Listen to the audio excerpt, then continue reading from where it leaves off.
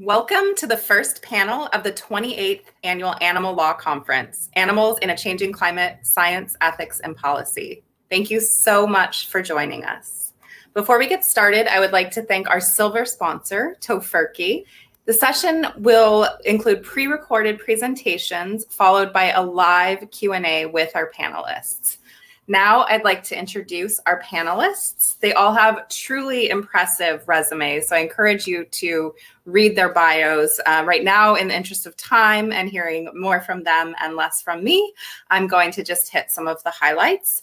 Um, Dr. Rod Bennison has been involved in animal protection for more than four decades, including as an academic, as chair of Minding Animals International, uh, whose fifth conference next year will also focus on animals and climate change. And he manages a team of environmental scientists and an engineering and environmental consulting firm. Dr. Lisa Benjamin is my colleague at Lewis and Clark Law School, where she is an assistant professor specializing in international climate change law, energy resource law and policy, and environmental justice. And Jeff Sebo has a series of titles a mile long at NYU, including that he directs the animal law, oh, sorry, animal studies MA program. His research focuses on bioethics, animal ethics, and environmental ethics, and he's written a number of books on these topics, including his forthcoming book, Why Animals Matter for Climate Change. We'll begin with a presentation from Dr. Rod Bennison. Firstly, let me thank the organisers of this conference, not an easy task given the dire situation with the pandemic. And greetings from Australia, and let me say that I would like to begin by acknowledging the traditional owners of the land on which I'm presenting my talk today. That's the people of the Wonnarua Nation, and pay my respects to elders past, present and future. Similarly, I'd like to also acknowledge the local First Nations and peoples from where people are watching. And let me emphasise that the people of the Western states that have had tremendous loss of life and property and nature during this wildfire season. Speaking from New South Wales and Australia, we too suffered great loss in our summer over the Christmas and New Year period nine months ago. More of this later. So this is a fairly wide-ranging paper, which, and I have much to say in a limited time available. So let me start off by stating that the Earth's natural systems are in free fall, and the planet's human population is in complete denial as we stand at the precipice of massive, massive environmental destruction and ecosystem annihilation, so much so that the stability and resilience of the Earth itself is in peril. As you are all aware, and many times in its history, the Earth has experienced environmental disruptions that resulted in mass extinction events. I'm sure that you are all in agreement that the most recent extinction events is being exacerbated by the direct actions of humans in what is becoming popularly and somewhat self-importantly ascribed as the Anthropocene. The imp impacts that have become critical to life itself with multiple species extinctions, ecosystem degradation with an increased regularity in a number of major environmental calamities. Many species are now becoming extinct, such as the Christmas Island pipistrelle, as we see here in the Australian Indian Ocean Territory. Obviously, what makes this current extinction event so critical to life on Earth is the extraordinarily rapid escalation of a problem. In September, the WWF and Zoological Society of London announced in the latest Living Planet Index that the key drivers behind a 68% average decline in vertebrate population since 1970 is due to unprecedented economic growth, overconsumption, increasing deforestation, and agricultural expansion. What they seem to fail to link is that such loss of biodiversity was due to the need of land for the meat and dairy industries. So, what are the most disturbing and interrelated of planetary trends where the human population of this planet needs to act and promptly and decisively? Well, the use and abuse of chemicals and nuclear technology is the first. The second, the exploitation of the planet's life forms and genetic diversity, including the use of genetically modified crops. The massive increase in human populations. The massive impact of pollution, particularly plastics. The impact of disease, such as on amphibians with Egyptian fungus. Clearly, clearing of vast swathes and natural ecosystems, mainly for urbanisation and agriculture, particularly animal agriculture. Habitat alteration, not loss. So much so that human environments are becoming the place where evolution must now take place.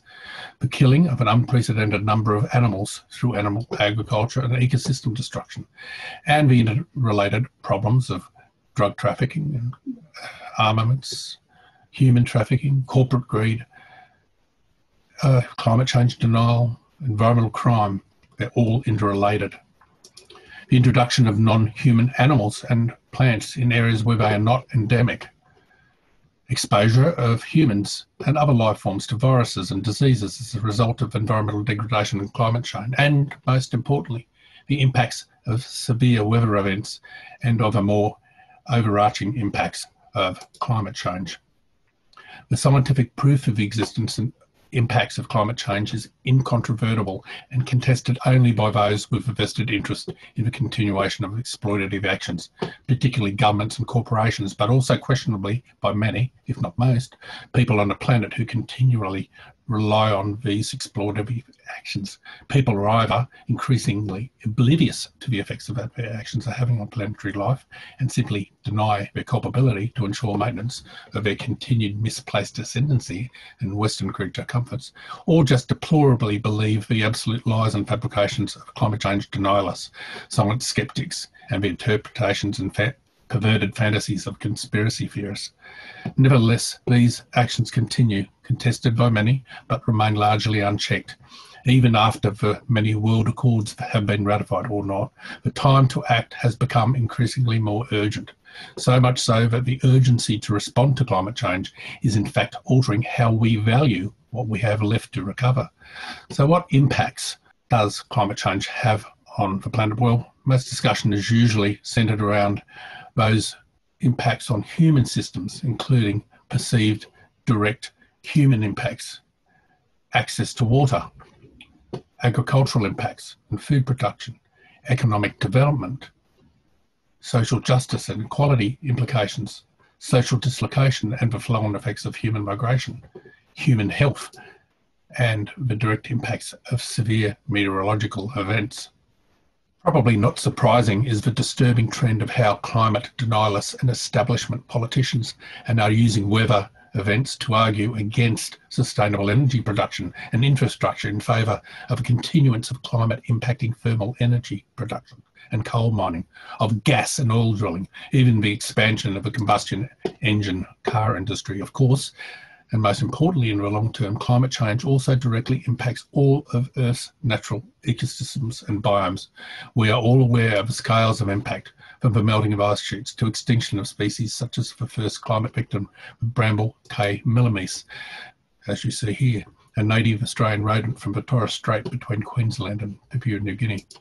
The greatest manifestation of the impacts of a warming planet is the changes that may occur in climate climatic and natural systems that, if exceeded, will trigger large-scale changes in the overall planetary system. Crossing a threshold in one part of a climate or ecosystem may trigger another tipping point into an irreversible new state, such as the melting of a permafrost leading to the release of stored methane, thereby increasing global warming, as would the destruction of tropical rainforests, or melting of the ice sheets, leading to rises in sea level or increased drought, leading to uncontrollable wildfires. These potentially cascading tipping points must be avoided at all costs.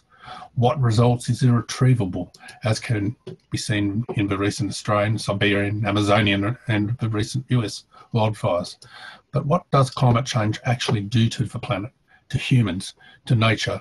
What are the impacts? Well, the first is plant extinctions that have the potential to potentially or even exponentially exacerbate species extinction cascades. Ecosystem changes related to changes in water and ice availability, temperature fluctuations, light availability, and respondent changes in life cycle periodicity. Desertification and increased heating regimes in the mid latitudes species range restrictions that can decrease species survival, such as the polar bear or penguins or, montane species, increase risks and impacts posed to human and natural ecosystems from freak weather and natural events such as mudslides and tornado, tornadoes, cyclones, hurricanes, and storm surges, decreased economic resili- environmental uh, resilience in specific natural environments such as coral reef bleaching and death. And while sometimes you might get some coral reef expansion in other places, which of course leads to destruction of other environments in that local vicinity. Impacts upon pollinators, particularly insects like bees that are more susceptible to change, more so than birds and bats that have a more varied dietary regime, and the absolutely massive implications on the for production of food for all of the residents. Increased risk of disease factors such as the spread of ticks and Lyme disease, increased incidence of mosquito-borne viruses, or viruses released into the environment from ecosystem destruction or needless consumption of wildlife. And we know what that can do. And uncontrollable wildfires across the planet in various environments. Using the recent Australian Black Summer bushfires as an example of what might occur when climate change impacts become manifest, and the impacts are staggering. The bushfires started as a result of lightning strikes, some subsequently through more than a doubling of pyrocumulonimbus storm events, only with only a limited number through accident or arson. The fires occurred in all Australian states and territories, but mainly impacted New South Wales, Victoria, and the Australian Capital Territory. The fires lasted the longest in New South Wales from July last year to March this year. It is recognised that the fires were enhanced due to inextricably linked climate change events, including drought, record breaking heat, including 50 degree days, that's 122 Fahrenheit, and a positive Indian Ocean dipole, which is an irregular uh, oscillation of the sea surface temperatures uh, in the Indian Ocean. It's important to note here that the positive Indian Ocean dipole also caused multiple cyclones in East Africa, floods in Indonesia, and subsequent East uh, African locust plagues. The fires burnt out nearly uh, 19 million hectares, that is over 46 million acres, including 21% of all Australian broadleafed eucalyptus forests and significant pockets of rare rainforest. The largest fires of several hundred that burned was the Gospers fires megablazing off west of Sydney, destroying 500,000 hectares or 1.25 million acres, and the Dunns Road Green Valley megablaze in the western Kosciuszko Mountains, destroying 600,000 hectares or 1.5 million acres. 34 people died directly, and at least an additional 417 from smoke inhalation. 3,500 human homes were lost, and over 6,000 other buildings. Over 3 billion vertebrates were killed, mainly reptiles, with greater than a 90% loss of wildlife from the fire ground, directly by being burnt or from smoke inhalation or subsequent dehydration and starvation. Many trillions of insects and other animals perished. At least 50 native species are now at risk of becoming threatened or extinct, and fire damaged some priceless Aboriginal rock art. In many places, the Australian rangelands, forest wild wildernesses have been obliterated, as we can see here, an image uh, from Victoria. They left half of the ecosystems of Kangaroo Island destroyed, with at least two now extinct invertebrates, and wiping out most of the glossy black cockatoo and Kangaroo Island dunnarts. Kangaroo Island is an island off uh, Australia's largest island, just off South Australia. The dunnart is a critically endangered marsupial about four inches long. Before the fires, there was an estimated population of less than 500 individuals, but there have been a few limited sightings made recently, luckily. But food sources, mainly insects, are extremely limited. So, what else did the, the bushfires do? The Black Summer bushfires, as they are now known, have cost the Australian economy over 100 billion Australian dollars. It spurred a federal royal commission, albeit limited, to examine causes, impacts, and avoid, avoidance mechanisms. This commission is ongoing and will have a major impact on public policy for decades to come, even if it does not create a better climate change initiative. Politicians have mixed and usually negative responses due to their indifference to climate change, their lack of action or outright naivety and stupidity. Many, like the Australian Prime Minister, received much verbal abuse. Over half a billion Australian dollars do- was donated from Australians to relief effort, and for wildlife recovery. It is the impacts on animals that struck a chord with most Australians, leading to people opening their wallets. And a warning, there are some heartbreaking images that follow. The countless loss of life on the environment is immeasurable. It is not just the individual animals, animals that lost their lives, like this kangaroo. The problem is exacerbated by large swathes of forest having been decimated. The problem does not necessarily lie with regenerating forests, as Australian forests are genetically in tune with regular burning. Sure, some threatened plant and animal species have become extinct in areas where they were known to have ex existed. However, the area that a bushfire burns has an important and lasting influence on post-fire recovery. The larger the area that is burnt, the further an animal has to travel to recolonise burnt forest. Some are more vulnerable, such, such as the koala. Koalas do travel, but are largely sedentary and tree-bound. In small areas that are burnt, koalas can recolonise and maintain a population. However, as such large areas have been burnt, including many known koala habitats, then the likelihood of recolonisation and survival becomes tenuous. When one adds the impact of roads, land clearing, and urban creep, then the koala is headed for extinction. Of course, koalas and many other Australian vertebrates were rescued and cared for by a growing number of, of caring Australians, as we can see here. One of many images uh, that you can uh, get from the net. Two examples are the near extinct inch-long northern corroboree frog, as we can see here.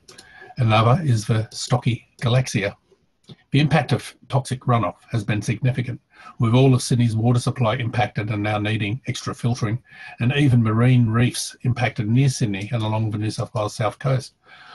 Of all the 3 billion plus vertebrates species killed by the forest, reptiles were the most impacted, mainly due to their great numbers, with 2.5 million animals killed. Here we see a carpet python burnt, but still alive another, an eastern dragon, killed by the fires. The impact on animals was not limited to wildlife. Many thousands of domesticated animals were killed or maimed, such as this sheep. Many thousands were shot by farmers on welfare grounds. This has also led to a major psychological problem for farmers and their families. But the impact of animals has not been limited to the bushfire season. State forestry departments, supported by right-wing conservative politicians, are cutting down forests for timber from those forests that have that are the last remaining haven for the endangered animals, like the koala. Further, state wildlife and environment departments and local councils are now now laying 1080 baits to kill what they term as fit pest or feral species, such as cats and foxes, in policies akin to some form of nativism or right-wing power trip. Arguments used to justify the killing state that resident cats and foxes are moving into the firegrounds to kill uh, the survivors that would other recolonize recolonize those areas, as if cats and foxes were somehow not impacted by the fires.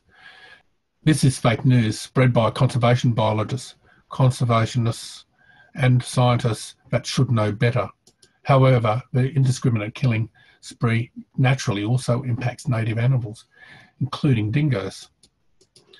Other native animals impacted by baiting include many meat-eating birds and marsupials like the quoll and marsupial mice. The killing has also seen the shooting of horses, deer, pigs and goats Turning to the dingo for a moment, the authorities justify the killing of dingoes by labelling them as wild dogs, individual escape dogs that have bred into wild populations. However, they do not afford any support on their protection elsewhere and shrug off any suggestion for the need for doing so. They fail to count that dingoes exist in threatened numbers. This is, of course, satisfies, satisfies sheep and cattle farmers who label all dogs in Australia as wild and in need of eradication. Granted, some species have had enormous impact on the potential survival of wild populations. Cats, foxes, dogs, rabbits, rats, and mice have all impacted greatly on endemic populations. The scientific evidence for this is also irrefutable. But unfortunately, the situation is becoming more complex and dire as the, effects of climate change exacerbate, and as, for example, the impacts of the Australian bushfires have shown. But some environmentalists and conservation, conservation biologists need to look long and hard at the science they use to justify their populist fake news quips. Nonetheless, the one task that majority of people agree on is that much more needs to be done on to protect wildlife. Greater funding for universities for animal law, animal studies and wildlife degrees to expand our knowledge base, to better protect critical habitats and species threatened with extinction, fund specific translocation and species expansion project, projects, rethink emergency responses to wildfire events in relation to wildlife, especially threatened species, rapidly expand funding for wildlife rescue organisations and hospitals, and most importantly, bring animal protection into the climate change debate. Finally, I would like to leave you with some images of wildlife rescue uh, in Australia and the efforts made during the Black Summer bushfires. Most of the images are of Australia's iconic species, but very, very uh, uh, relevant to what has ensued. Here we have a uh, slide of a rescue of a koala on Kangaroo Island. Here, uh, koalas being collected by students that drove around Kangaroo Island, placing injured and uh, sick koalas, bird koalas in their car. Here we have a hunter at Mallacoota in Victoria, a hunter but uh, turned wildlife rescuer. The Defence Force were also very important contributors to the wildlife rescue. Here we have um, a fire uh, officer in New South Wales helping a kangaroo. And of course, the Koala Hospital at Port Macquarie in New South Wales has been extremely busy. So please enjoy the conference. Sorry for the images, but climate change is important. It's impacting on animals immediately and irretrievably in some instances. So thank you, and I'll pass you over to our next speaker. Thank you.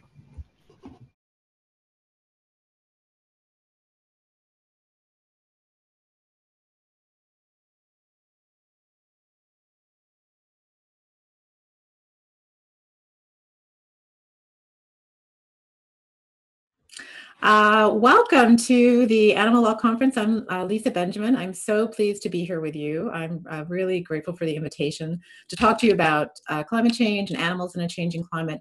In particular, today I'm going to focus on international environmental law and animal law.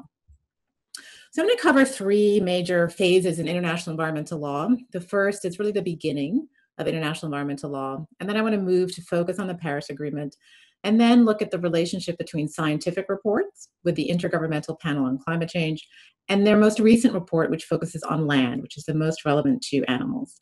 The entire topic that I'm, I'm trying to convey is that international environmental law, for the most part, has been very specific.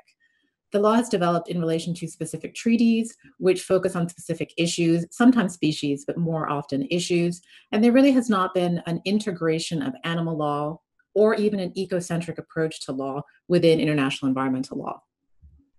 So first phase was the very early days of international environmental law, and we saw some initial treaty making. This was around the 1900s, where a number of countries were not independent.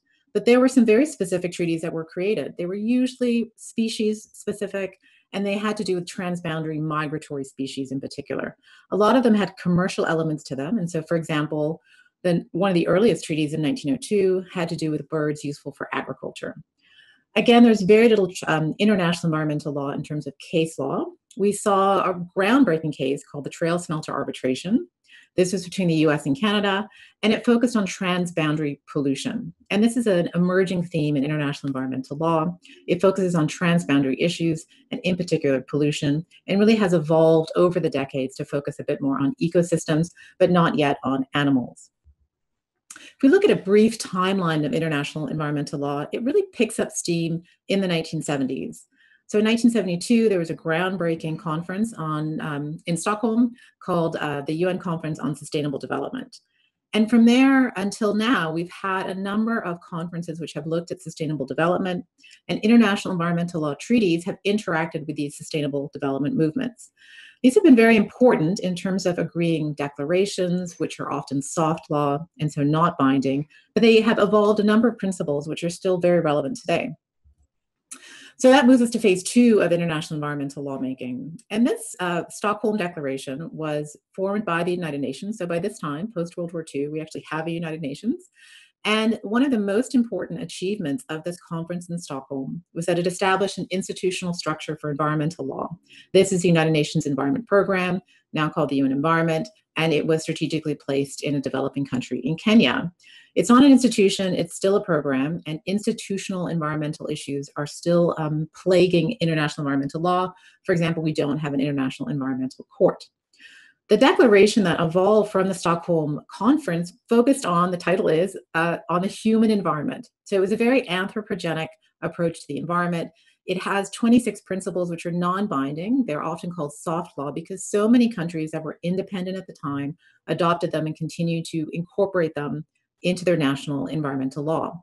It's important to note in 1972 that a number of countries were not yet independent. And so we're still in the colonial, moving towards a post colonial um, era. And so the preamble, which I put in the slide, really illustrates how anthropogenic this conference was. And it reflects the view of the environment at the time. It's not gender sensitive, it focuses on men as a molder of the environment. And really, the emphasis is on the environment serving anthropogenic needs. It does not focus on ecosystems, animals, or species. Principle 21 of the Stockholm uh, Declaration was one of the most important, and it illustrates this tension that I'll talk about a little bit later between developed and developing countries, or as we now refer to them, the global north and the global south. In particular, Principle 21 has had an enduring effect on international environmental law. The focus was very much the sovereign right to exploit natural resources, and it's very much related to the preamble of the Stockholm Conference, which is very anthropogenic. Now, the corollary to that, again within Principle 21, is there is a responsibility, along with the sovereign right, to control activities so that they don't cause damage to other states. And that very much reflects the Trail Smelter case early on in environmental law, was to prevent transboundary pollution. Of course, it's not talking about um, focusing on damage within your own state. The focus is on transboundary. Interestingly, in phase two, between the 70s and the early 90s, a number of conferences proliferated. So the Stockholm Conference was very much the beginning of a lot of multilateral treaty making in environmental law. CITES is one of the most unusual and very species and animal specific treaties that has ever been created. It's unique in a number of ways, particularly that it came out of the Stockholm Conference, but the IUCN was really the driver of developing the CITES treaty. And NGOs are still heavily involved in influencing the operation of the appendix systems. So a species can be sort of uplisted to have more restrictions on trade if it's particularly endangered. It can be downlisted depending on the science and the data. And so that is really one of the few treaties that we have that's very species specific. So it's an important uh, marker in international environmental law, but does not interact uh, very well at all with climate change. That moves us to phase three from the early 90s up until 2015. And the, you could argue, and I hope there is a post 2015 uh, phase, so phase four. And this was marked by a very famous um, conference called the Rio Conference on Environment and Development. And so I put the emphasis on development in the title because it really does focus on economic development and how that interacts with the environment. It was really a groundbreaking meeting in Rio in Brazil, and it developed a number of soft law uh, initiatives like the Rio Declaration. That mirrors the Stockholm Declaration. It's soft law and not binding, but has a number of very important principles that's still uh, relevant today. There were two binding international treaties which were uh, agreed at the time, and they're in bold. The most important for climate change is the United Nations Framework Convention on Climate Change, or the UNFCCC. I've specifically noted here that it only took 16 months to negotiate this treaty, which is groundbreaking for climate change, because then it took us another 20 years, basically, to get to the Paris Agreement. The Kyoto Protocol came in between. But that was really a very, very fast um, effort by developed and developing countries. The other very important treaty that's related to animals and species that was agreed at the time was the CBD, or the Convention on Biological Diversity. And this is a much broader based treaty which focuses on ecosystems and biological diversity and not as much on species like CITES does. The Statement on Forest Principles was a non binding statement that was also agreed by states. So countries were very busy at the Rio Declaration in 1992. And the declaration itself reflects some of the principles in Stockholm and reiterates them. And it also builds on those Stockholm principles. You can see in Principle One, very much like Stockholm, human beings are at the center of concerns for sustainable development. There's an entitlement uh, there that nature and the environment is designed to serve humanity. And again, you have the reflection of Principle 21 from Stockholm in Principle 2 of the Rio Declaration. It emphasizes a sovereign right to exploit resources. The reason why this is so important has to do with the tension between the global north and the global south. And this was illustrated in a compromise set of Principle 3 and 4, which was very important to both developed and developing countries at the time. The global south was very concerned that they retain Principle 3. This is a right to development.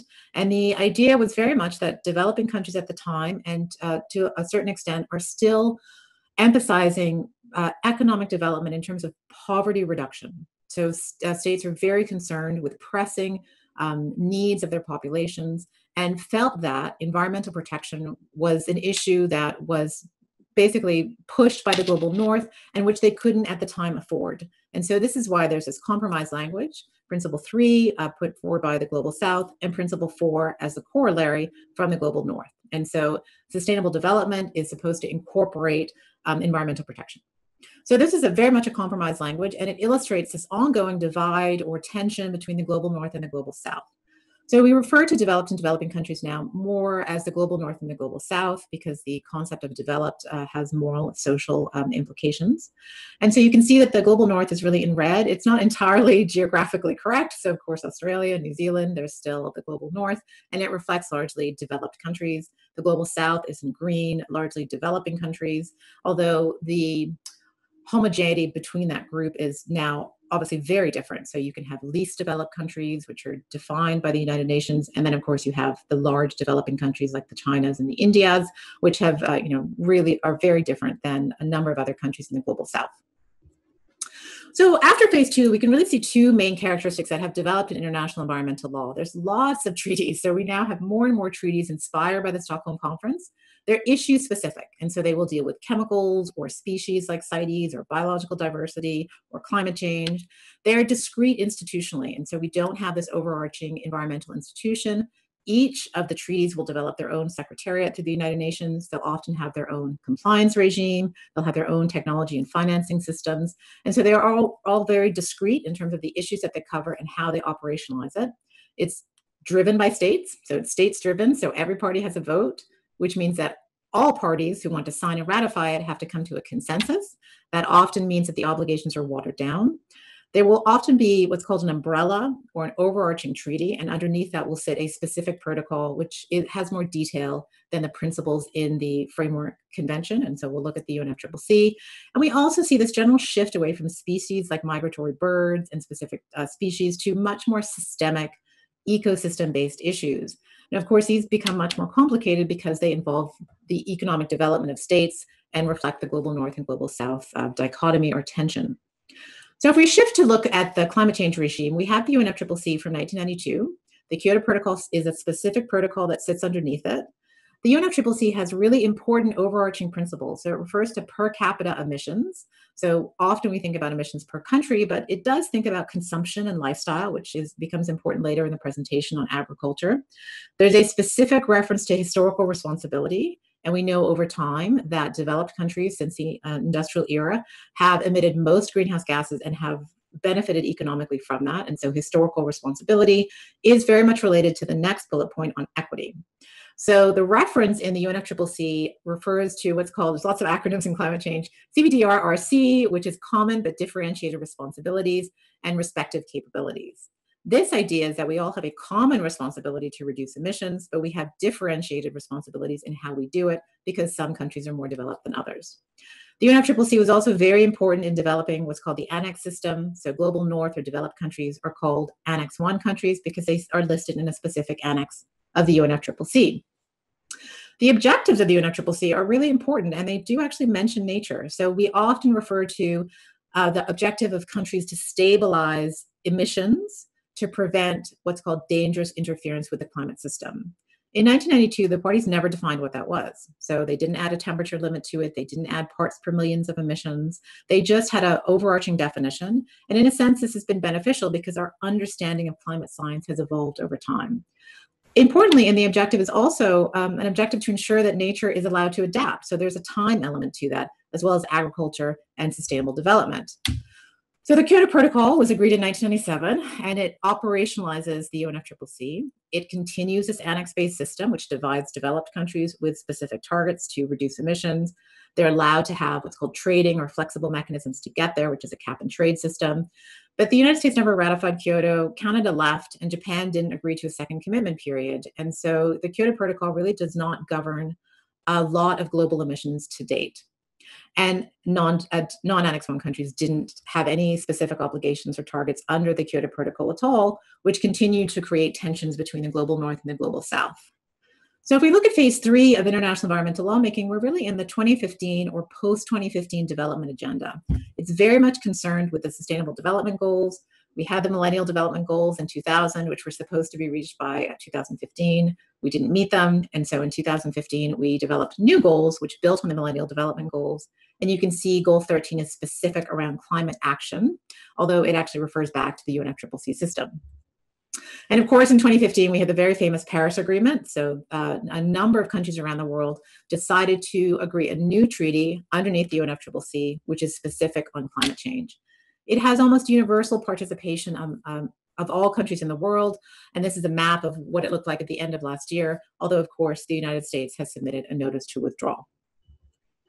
The preamble of the Paris Agreement has, you know, some great principles which builds on both Stockholm and Rio. It, it includes the human right, which is the first time that any climate treaty has done that. It has much more specific groups focusing on gender equality, indigenous peoples, migrants, children, and it also specifically includes paying attention to ecosystems. And this is very important for the IPCC and the reports that we see. It looks at oceans, biodiversity. It has this concept of Pachamama from Bolivia or Mother Earth, and of course refers to climate justice, which is goes back to the tension between the global north and the global south. The parties in Paris Agreement who negotiated the Paris Agreement, we actually agreed long-term temperature goals. And that puts more flesh on the bones of that concept of dangerous um, increases in uh, global temperatures. And so we agreed that we would keep global temperature um, averages to well below two degrees above pre industrial averages. And we would try to keep that limit to 1.5. We'd also try to have net zero. people didn't want net zero in the actual uh, agreement, but that balance is supposed to be net zero by 2015. And this would be based on what countries themselves nationally determine is an appropriate contribution for their country. And so it reflects principles of equity there. So I want to shift now at the end just to focus on the IPCC and its relationship to the UNFCCC. So we have the independent scientific community that's producing peer-reviewed reports on climate change. The IPCC, or the Intergovernmental Panel on Climate Change, reviews those reports periodically and it forms the science policy nexus. So the IPCC reports are referred to the policymakers under the UNFCCC, and in theory, we are supposed to create treaties and agreements which reflect the IPCC reports. And there have been a number of reports over time the first was right before the Rio conference in 1990, which inspired the Rio Declaration and the UNFCCC. Uh, the second was right before the Kyoto Protocol was agreed. And the fifth assessment report was a year before Paris was agreed. And the IPCC is now working on the sixth assessment report. These reports take a long time, they're very complicated, but over time, the IPCC has, with increasing confidence, told us that humans are having a, a significant impact on the climate. And in particular, this quote is from the 2014 assessment report, which says that if we continue to do this, the impacts are likely to be severe, pervasive, and irreversible, not just for people, but also for ecosystems. So I have this little chart here. It's called the burning embers chart from the IPCC reports, and I've put it at three, just above three degrees, because that's what the nationally determined contributions under the Paris Agreement are heading us towards a future of three degrees, which exceeds our global temperature goal of well below two degrees. And you can see just on the left for unique and threatened systems, the burning embers, purple is the worst, and red is pretty bad, and yellow is moderate. That unique and threatened systems will be the most affected and the soonest um, to feel those effects. And so that IPCC report on 1.5 was really groundbreaking and told us that even the guardrails of two degrees are not safe. So finally, I want to uh, just spend a few minutes on the IPCC's special report on climate change and land. So the IPCC has these big assessment reports, which take four or five years to compile, but they also have the mandate when parties ask them to have special reports. And in this report last year, they focused on land, land use, land degradation, and they found that land use has a significant impact on emissions. So it is both a source in terms of deforestation, and it can be a sink in terms of afforestation, for example, if we actually capture and keep those emissions within biological land based systems. these systems are very vulnerable to climate change, and it looks at agriculture, which um, uses you know a staggering amount of fresh water to produce, and a huge amount of that food that is produced through agriculture is wasted. And so methane in particular is a huge greenhouse gas, and it actually provides estimates of what these kinds of land use, forestry, agriculture is doing to our climate. It is producing 13% of all carbon emissions, 44% of methane, which is a very powerful greenhouse gas, and 81% of nitrous oxide. And so that means that we are producing a huge amount of greenhouse gases from our use of land, particularly in terms of agriculture. It actually looks at activities outside agricultural farm gates, and that's 5 to 10% of total global emissions, mainly in transportation. So that the good news is that we actually have a lot of mitigation potential, particularly if we change our lifestyles, if we change our dietary habits. There's a huge uncertainty in terms of how much emissions that could save by 2050, but it could be a potentially a huge amount. And the IPCC developed these socioeconomic pathways, and they're called sustainably focused socioeconomic pathways. SSP1 is where we actually take a responsible development trajectory with lower population and, in particular, lower emissions of food and waste.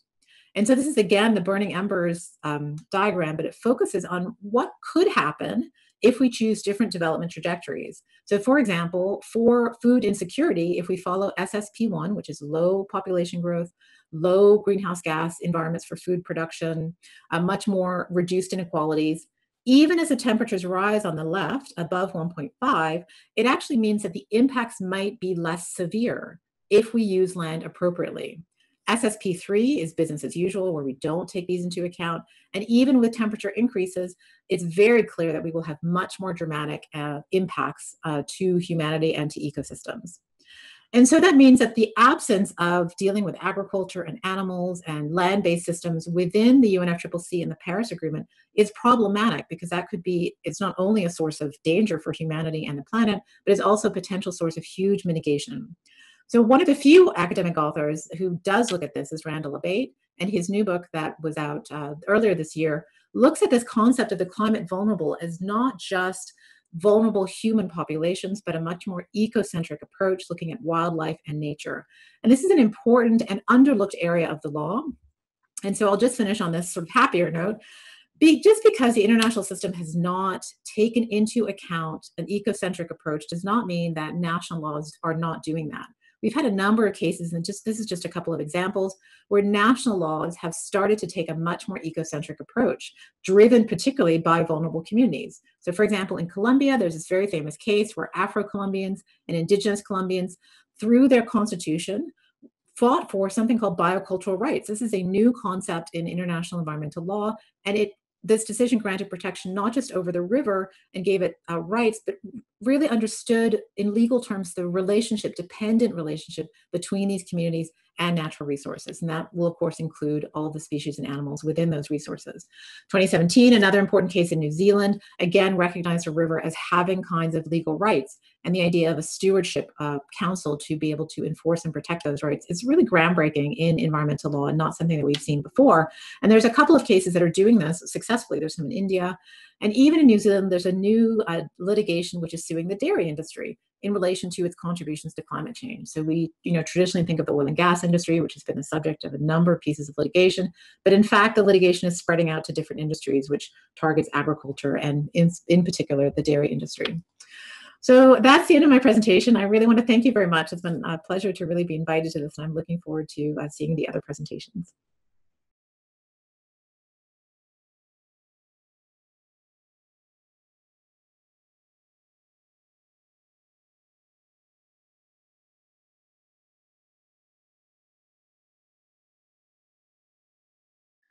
Well, hello everybody, and I want to start by thanking the organizers for putting this event together and making it on this topic. And I want to thank everybody for being here and, and talking about this. This is an incredibly important topic and interesting and complicated topic. So the more we can talk about it now, the better. So I appreciate your doing this and including me in it. So as Rod has told you, climate change is going to systematically impact non-human populations both in terms of its impacts on species and its impacts on ecosystems and individual wild animals. And so we really need to seriously consider all of those impacts. I think a lot of people now appreciate that animal agriculture is a leading cause of climate change. And so we should reduce or end animal agriculture as part of our climate change mitigation efforts. But what these impacts are pointing to is that climate change is also going to be increasing biodiversity loss, ecosystem collapse, and individual wild animal suffering.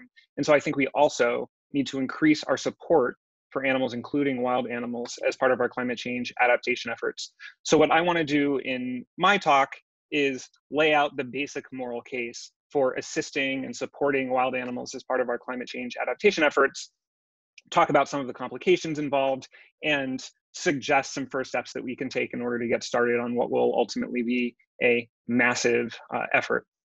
So I think the best way to start is simply by observing that I think we all agree, or I hope we all agree, that there are at least some cases in which we do regard ourselves as having a moral responsibility to help wild animals and reduce their suffering or delay their death. So I personally think that we have a moral responsibility to help wild animals sometimes, whether or not we are responsible for their suffering. So if you imagine a simple case where you might be taking a walk through the woods and you come across a deer drowning in a pond, deer is drowning in a pond, and you know that you can save their life, you can help them out of the pond without sacrificing anything morally significant, I strongly believe that in that kind of case, you have a moral responsibility to save their life. Now, I know that not everybody agrees with me about that. Many people do, many other people might not.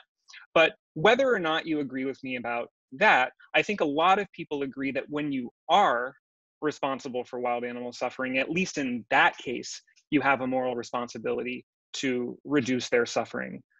So, for example, if instead of walking through the forest and seeing a deer drowning in a pond, if instead you build a swimming pool in your backyard and you put a tarp over the swimming pool and then you wake up the next morning and you see that a deer has fallen through the tarp and into the swimming pool, then in that case, I think you clearly do, and I think we would all agree, I hope we would all agree, that you clearly do have a moral responsibility to save the deer. In that case, you're saving the deer is not a matter of your preventing harm out in the world. In that case, you're saving the deer is a matter of you're reducing or repairing harms for which you yourself are responsible or in which you yourself are complicit.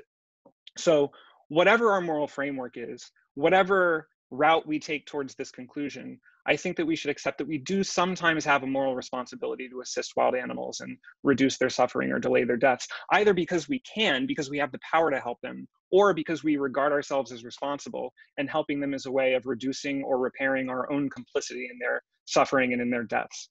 Now, the challenge in the Anthropocene, the challenge presented by human caused climate change, is that moving forward, because human activity is systematically reshaping the planet, humans are going to be responsible for, or at least complicit in, an increasingly wide range of wild animal suffering and death.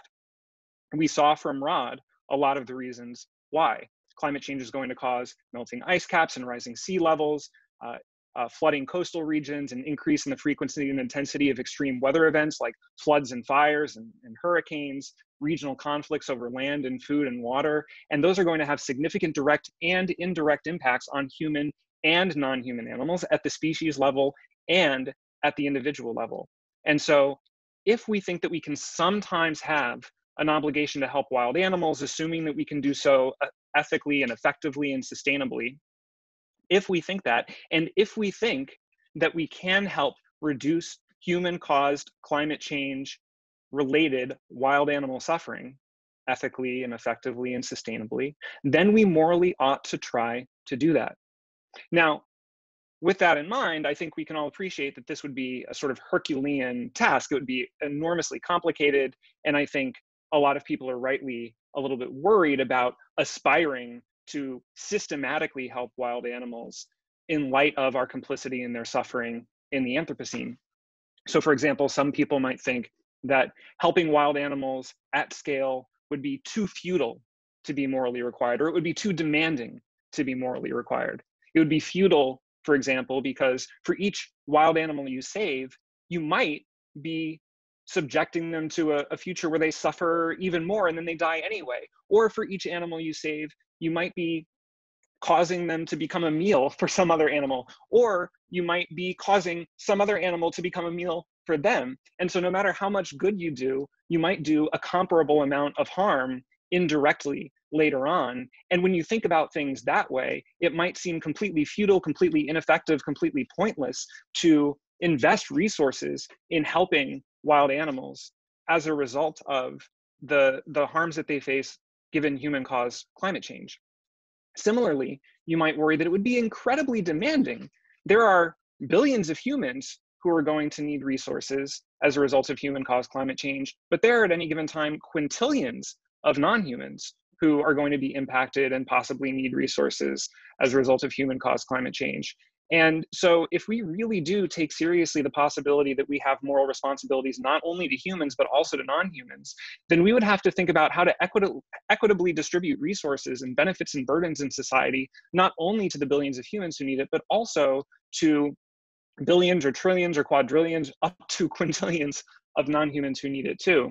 And when you think about those concerns in relation to each other, it might seem overwhelming and it might seem like a bad idea. You might think we would be diverting all of these scarce moral resources to what is ultimately a futile and pointless task that could either do as much harm than good or at least do more harm than good.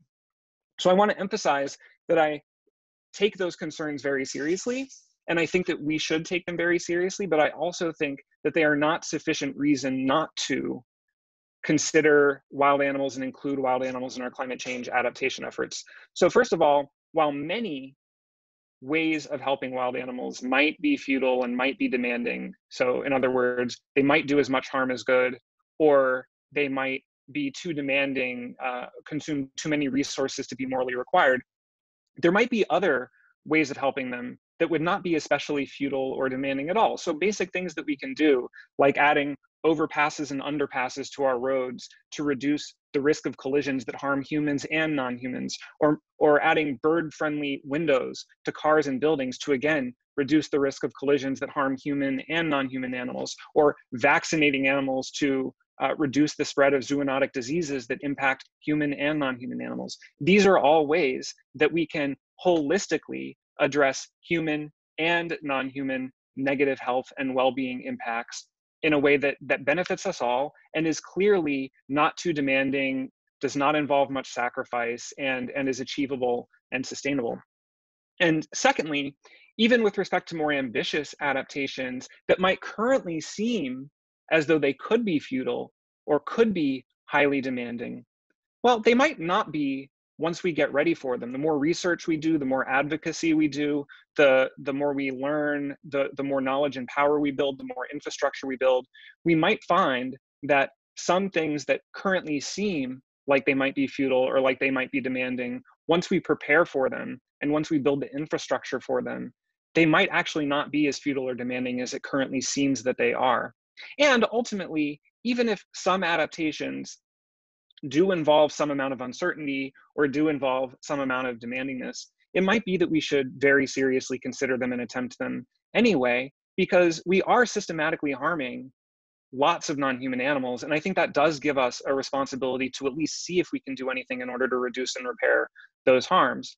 And ultimately if we have to sacrifice a little bit then so be it obviously it might seem demanding anytime somebody with privilege is asked to give up a little tiny bit of that privilege so that other people can be included in in our impact assessments and in our policy decisions too. But if we have to give up a little bit of our human privilege so that lots of non-humans have some share in the decisions that we make that are going to be affecting all of us then i think that we ought to do that. And we can all still have good lives even if we give up a little bit of, of our current benefits and our current privileges so that non-humans can have somewhat better lives in the anthropocene so i think that when we are causally responsible for wild animal suffering, then we ought to address wild animal suffering, assuming that we can do so ethically and effectively and sustainably. And I think that there are at least some cases where we can, in fact, reduce wild animal suffering ethically and effectively and sustainably. And I think that if we lay the groundwork in the right kind of way now, we might discover that we can reduce a lot of wild animal suffering ethically and effectively and sustainably. And so I think that we have a responsibility to try. Now, that raises the question how we should try. assuming that we should try to do this at all, how should we go about trying to do it? What kind of framework should we have in mind? So what I wanna do with my remaining time is suggest a general framework for thinking about our responsibilities to wild animals as a result of human caused climate change. And then I wanna suggest some concrete steps that we can take towards acting within this framework.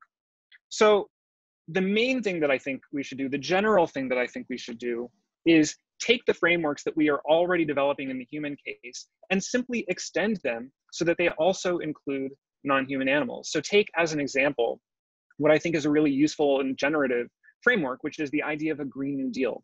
So when we talk about a Green New Deal, what are we talking about? So, so roughly speaking, the Green New Deal is an ambitious set of policy proposals meant to address social and environmental and economic justice in a holistic way. And the reason the Green New Deal is linking those issues, linking social and environmental and economic justice, is it appreciates or, or its advocates appreciate that those issues are themselves linked. In the human case, for example, climate change is going to directly harm humans in all sorts of ways, for example, through fires and floods and, and rising temperatures and so on. But climate change is also going to indirectly harm humans in all sorts of ways by amplifying existing threats that we already face, like hunger and thirst and illness and injury and, and economic inequality. And, and it will disproportionately impact the most vulnerable among us in those ways. And so, what advocates of the Green New Deal appreciate is that if we truly want to uh, empower people to be resilient in the face of climate change, then that not only requires creating adaptations that can protect us from the direct effects of climate change, like fires and floods, but it also requires creating adaptations that can protect us against the indirect threats of climate change, the ordinary threats that climate change will, will amplify. So if we can create systems that will help people to have better access to food and water and energy and housing and everything else that might ordinarily be a problem, then not only will we help them to be more resilient in general, but we can also help them to be more resilient in the face of climate change in particular. I think that is a powerful argument for the Green New Deal. That, of course, along with arguments that we need a just transition from our current systems to uh, ideally just or at least more just future systems. And I think that reasoning, while the details are very different, extends straightforwardly to the case of non human animals too. So, as in the human case, as we have seen, climate change is going to inflict all sorts of direct threats on non-human animals, for example, in the form of fires and floods and rising temperatures, but also all sorts of indirect threats on non-human animals by amplifying existing natural threats that they already face, like hunger and thirst and illness and injury and predation and so on. And the challenge, as we have seen, is that in the Anthropocene, in the geological epoch defined in terms of the impact of humans and human economic activity on the planet, we are going to have a hand in, or at least for all we, we know, we are going to have a hand in a lot, if not most, if not all, of wild animal suffering.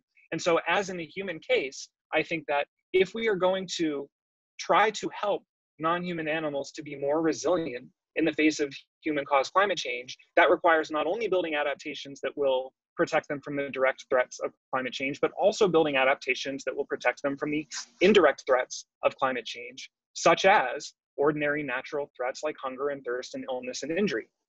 So, how can we think about doing this concretely? Well, I think there are all sorts of simple things that we can do to start. Obviously, a lot of hard questions are going to follow, both about what the details should eventually be and how we can actually bring these changes about. But here are some simple things that we can do in order to start including animals in our adaptation efforts. Obviously, one thing that we should do, which is more a part of mitigation than a part of adaptation, but we should clearly be doing it for both purposes, is end animal agriculture, end industrial fishing, end deforestation, end the wildlife trade, all of these ways of using and exploiting non-human animals that are contributing to climate change the more we reduce or end those activities, the more we can mitigate the effects of climate change so that there is less that we need to adapt to.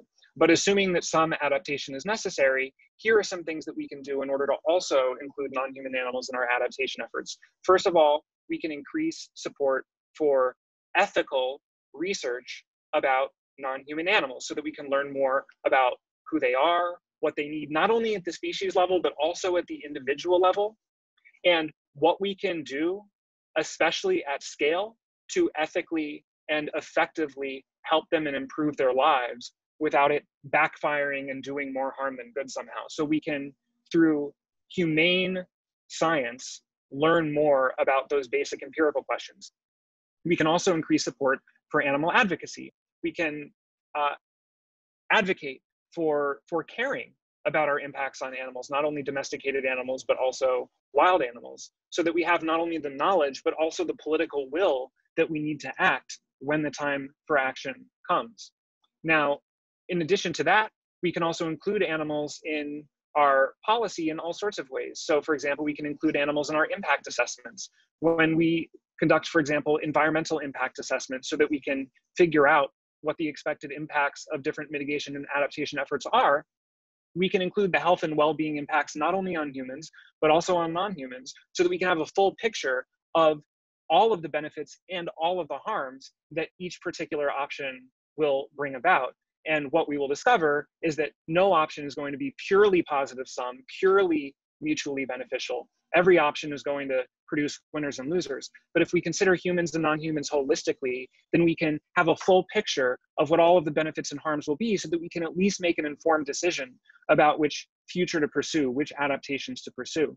Now, when we do that, we might discover that there are all sorts of ways that we can include animals in our adaptation efforts. For example, by creating jobs that involve um, humane stewardship for for non-human populations right? We can employ people to tend to natural environments so that they can tend to the non-humans and support the non-humans living in those environments. We can increase support for education so that people can learn more about what animals are like and what animals need and prepare for those types of humane jobs where people can be living in service of non-human animals. We can include animals in infrastructure changes, as I said before, for example, by building overpasses and underpasses on, on roads and bird-friendly windows on cars and buildings and animal shelters and habitats in urban settings, doing all sorts of other things like that that can uh, make it more possible than it currently is for humans and non-humans to live together harmoniously in a multi-species society. We can also uh, look for ways to increase political representation for animals. For example, by uh, creating animal welfare offices so that there are people who are actually employed and formally empowered in public office to advocate for the interests and rights of animals. And these are just some of the first things that we can do in order to start laying the groundwork so that we can eventually be in a position where we have the knowledge and power and compassion and political will that we need to make informed decisions about how to advance human and non-human interests in the face of climate change. And so the last thing that I will say uh, is that in general, I think even though it might seem more urgent and pressing to consider human interests now and non-human interests later, I really do think that we should consider all of them now. And part of the reason is just straightforwardly practical, that we can make the changes that we need much more effectively and efficiently if we make them holistically. For example, if we only have to upgrade buildings once with human and non-human needs in mind, that will be much cheaper and easier than if we do it once with human needs in mind and then all over again in a different way when we consider non-humans too. So I think we have some reason to start considering everybody now, even if it might initially feel a little bit overwhelming to do. I think we can do it and we should do it. And then the, the last, last thing that I'll say is that as hard as this is and as much as it forces us to confront all of the bad things that we've done to other animals in the world, I think that it can help to view climate change as both a threat and an opportunity. Climate change is obviously a threat because it exposes the limitations of our existing conceptual and, and social, political, economic, and technological and infrastructural systems. But in exposing the limits of those systems, it also shows us the need for new systems, new ways of living together harmoniously and sustainably within and across nations and generations and species. It, it is forcing us to fundamentally reevaluate these things that we normally take for granted. And so I think in this moment, when we are forced to reevaluate these things, we should take that opportunity and really question it all and ask ourselves if there is a better and more harmonious way that we can coexist, not only across nations and generations, but also across species. And so I hope this can be the beginning of a long conversation that we have with ourselves about how we can really take responsibility for our impacts on everybody, not only ourselves, but on everybody. Thank you. So just a reminder that folks, you can submit questions through the Q&A. And we have gotten some questions in so far. And I, I think Rob will be back on camera with us momentarily. Um, but while we're waiting, I'll go ahead and get started with a question for Jeff. And thank you all for your presentations. They were really fantastic, thoughtful, thought provoking, and I think lay a really good foundation for the discussions that we're going to be having for the rest of the weekend. Um, so, Jeff, um, translocation came up in um, in Rod's presentation, and I think really gets at the heart of some of these ethical issues that you were touching on. And it seems to be inevitable um, that climate change is going to call for some translocation. But of course, moving some animals inevitably is going to impact other animals. So I'm wondering how you recommend that we navigate those competing interests. Yeah, that is a. Can you hear me, by the way? Okay, great. um, and thank you again, I should say, everybody, for organizing this. This is a fantastic conference and, and session, and I really appreciate it. So, um, assisted migration or translocation, or however you want to describe it, is very complicated in part because, as with all interventions, it seems to be really hard to do well. People have tried to do assisted migration, and sometimes it works, but sometimes it causes lots of unexpected harms. It can take a lot of time and money to move a species from one space and then safely uh, transport them to another space and then integrate them into that community without having a lot of unexpected impacts on wildlife. And you also have to get buy in from the local human populations. And those are all very challenging barriers. And what I suspect is that sometimes it might not be the most effective thing that we can do to help animals at scale.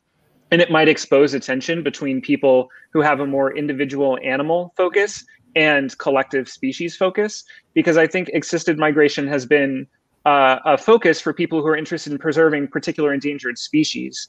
But if what you are focusing on is making the lives of individual animals as good as possible, then the question might become less how do I make sure this particular species continues to exist? And more, how can I create an environment that will be supportive for whatever animals happen to exist here in the future? And then it would be more a matter of welcoming whatever animals happen to come into the environment and making sure that you structure the environment in a way that uh, supports them in living good lives.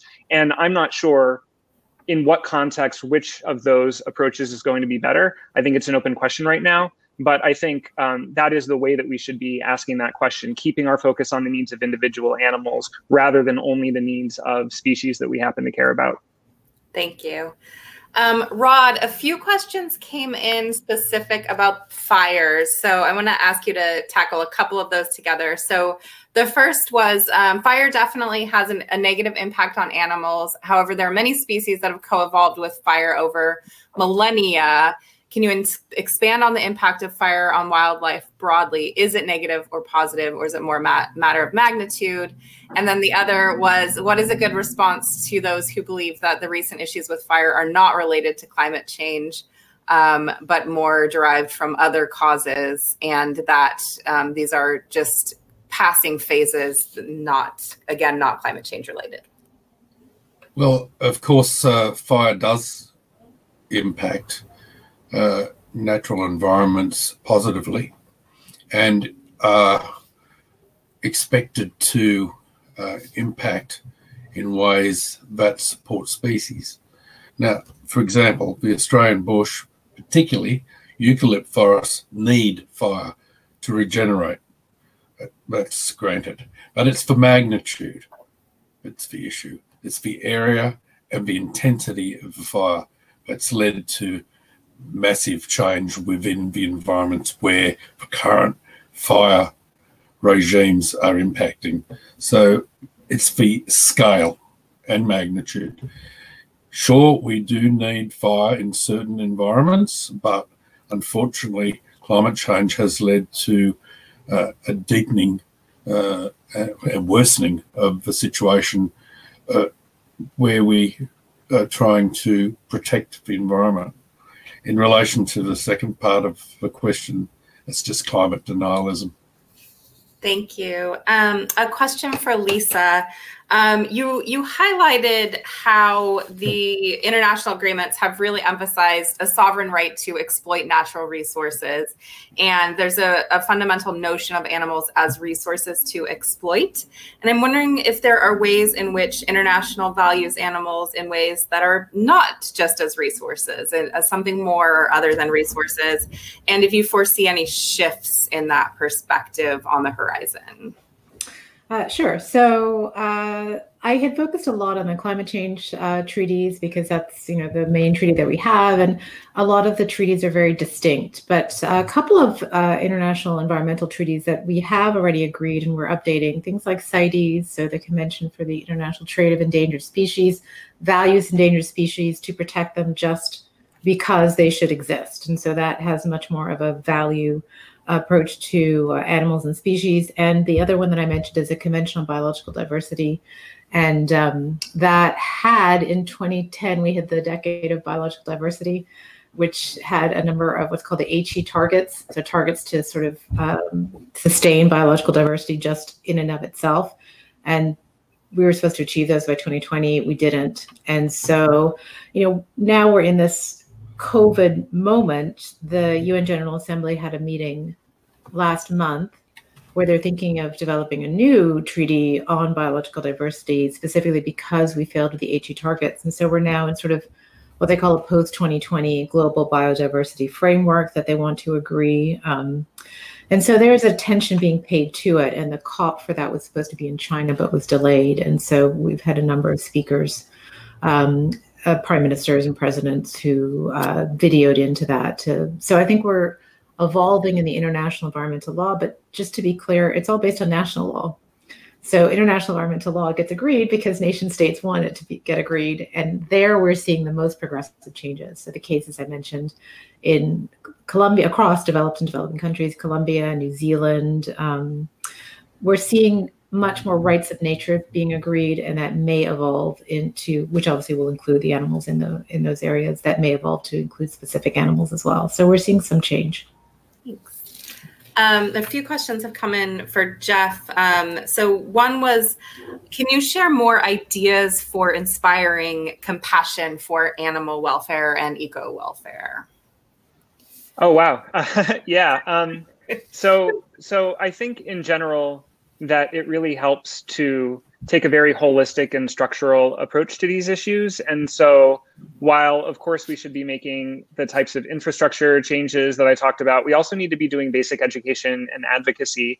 And I think that that needs to run quite deep. So, for example, I think in addition to including animals in education and advocacy more than we do, we should also be working to make education more holistic so that people who are being trained for any particular profession have some content about animals. And this actually relates to a different question that Kelly asked in the Q&A, which is about whether architecture students should learn about these issues. Yes, I think all students should learn about these issues. Everybody should learn about how their work, their intended line of work, could impact humans and animals and the environment.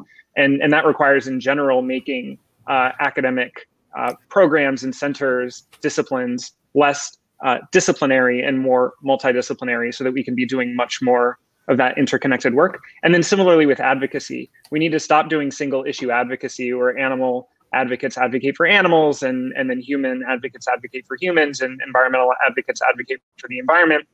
Everyone in every movement should be making an effort to learn about the the needs of individuals uh, uh, advocated for in other movements so that we can be doing our work in a way that stands in solidarity with other movements. And so I think the more we can encourage people in education and advocacy to take that more holistic and multi-issue approach. Uh, we can we can make a lot of progress for getting people to care about animals by seeing the connections between human, animal, and environmental issues, and because they learn more about animals in their own sake. Um, so we had a question come in, which I'll ask Rod first, but maybe if other if we have time, others could weigh in.